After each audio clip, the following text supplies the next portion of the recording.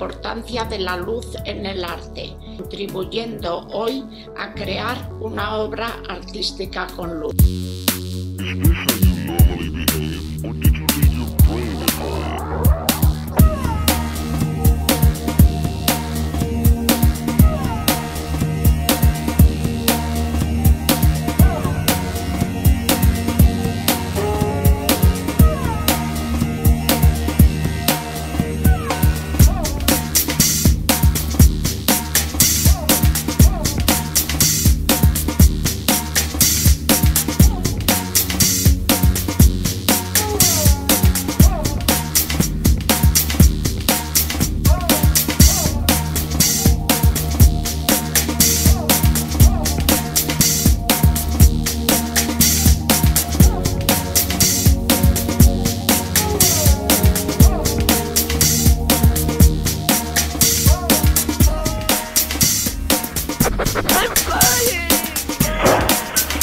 106 miles to Chicago.